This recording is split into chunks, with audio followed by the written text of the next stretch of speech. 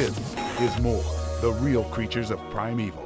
I'm the director of the Dinosaur Institute here at the Natural History Museum of Los Angeles County. It is estimated that 99.99% of everything ever alive is extinct. That gives you a sense of how many different kinds of forms lived in prehistoric times. So obviously, paleontologists are very specialized. Some work with dinosaurs, some work with synapsids, some work with uh, mosasaurs, some work with Dracorex.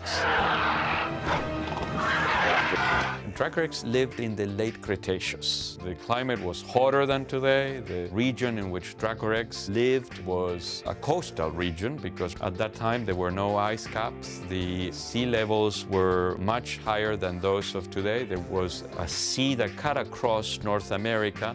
So although Dracorex was found in South Dakota, South Dakota was coastal at the time because it was on the shore of this internal sea. The Dracorex of uh, primeval um, looks a lot more like a dragon than what the real dinosaur looked like. It has a pair of sails, almost like wings in the back. We have absolutely no evidence that these animals had these sails. It has very long horns that make it look like a Chinese dragon. And again, we have no evidence that that was the case.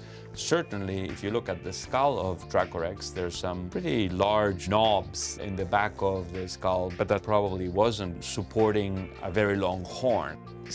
Some scientists believe that Dracorex is actually a young Pachycephalosaurus, a dome-headed dinosaur that lived about 66, 68 million years ago in places like Montana. And that's, I think that's very possible. Dinosaurs, as they grew from babies to adults, they changed in appearance, just the same way that we change in appearance. So we're not uh, upscale versions of our babies, and adult dinosaurs were not upscale versions of their babies. Dracorex, even though it belongs to the group that we call dome-headed dinosaurs, the head, uh, the skull of Dracorex is flat, but there are studies indicating that the dome of the dome-headed dinosaurs developed with age. As these animals were aging, they formed these very thick, distinct domes. And that's suggestive that Dracorex was a young